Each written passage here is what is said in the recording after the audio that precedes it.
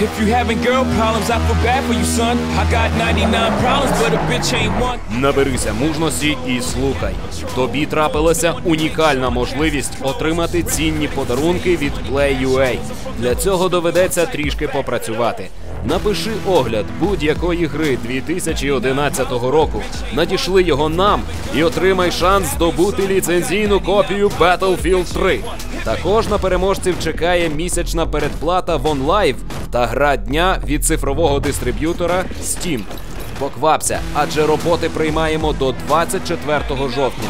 Вимоги до оглядів та інші подробиці акції шукай на сайті www.playua.in.ua.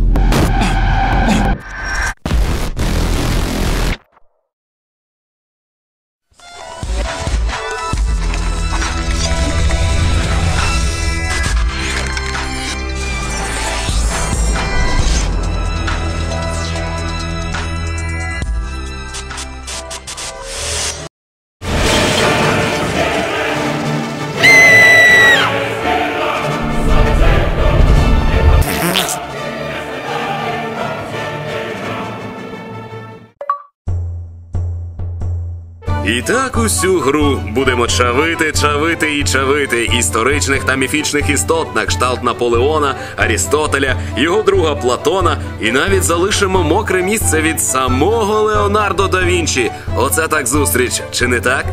Але давайте про все поступово. Історія починається в підземному царстві Аїда. Жахливе місце, якщо чесно, немає ігор, інтернету і жодного натягу на Play.ua. Бачимо Прометея, якого дзьобає Орел, Тантала, який не може дістати виноград, та нашого змученого головного героя Сизифа, який штовхає вгору велетенську круглу каменюку.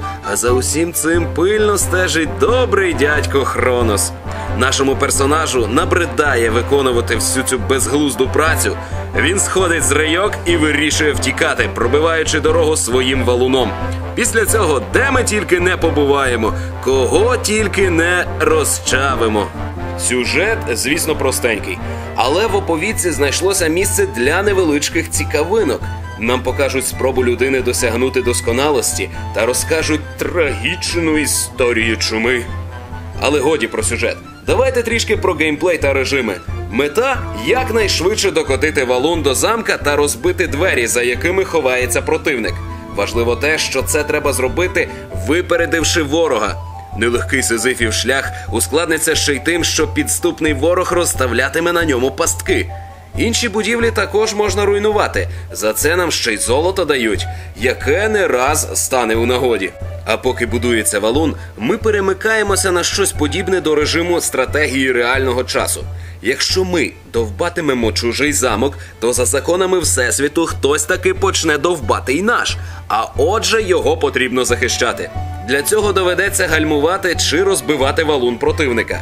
В обороні замку корисними будуть башти, бочки з порохом, корови, мамоти та інше. Щоб ви знали, оборона нині дорого коштує, тому будьте готові платити за все із своїх золотих заощаджень, зароблених на руйнуванні ворожих стін. Золото витрачатимемо не тільки на споруди, а і на самі валуни. Цю бойову каменюку можна зробити броньованою, вогняною, нафтовою чи ангельською. Броньований валун, наприклад, отримує менше пошкоджень, а ангел може довше побути у повітрі. Війна не єдиний режим гри. Є ще спуск валуна та перегони. У режимі спуску валуна потрібно набрати якнайбільше очків, збиваючи все, що можна, і в кінці намагатись влучити у лунку з найбільшим числом. Ну а режим перегони не потребує тлумачення. Звісно, найзапекліші бої можливі лише з живими суперниками, а тому гра також підтримує сплітскрін. На жаль, чомусь режим клава versus геймпад неможливий. Кожний рівень має свою веселу заставку, показуючи не дуже хороші дії нашого противника.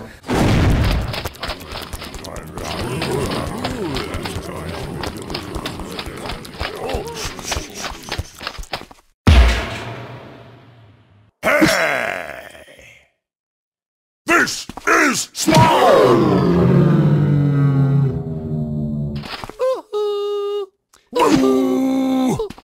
Кожна інша траса унікальна і цікава своїм виглядом. Часто змінюється стилістика, що не дасть вам заснути. Здоровецьке дякую розробники отримують за музичний супровід, що складається з класичних мелодій та створює неповторну атмосферу. Звісно, гра не вийшла без недоліків. В першу чергу хочеться сказати про занудні бійки з босами. Так, у грі є боси, але з ними настільки нудно боротись, що хочеться якось пропустити рівень. Атака складається із трьох однакових ударів в одне місце, та й босів всього-навсього чотири. Інший недолік це недопрацювання режимів спуск валуна та перегони.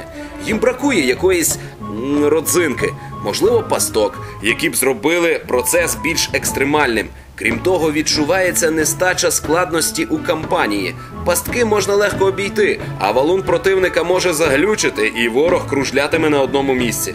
Але які би не були мінуси, гра вийшла чудова. Пейзажі гідні милування, чудовий музичний супровід та хороший гумор. Видно, що розробники робили забавку з любов'ю. Гра має зацікавити кожного, як любителів простого, так і серйознішого. Одним словом, ще каменюк.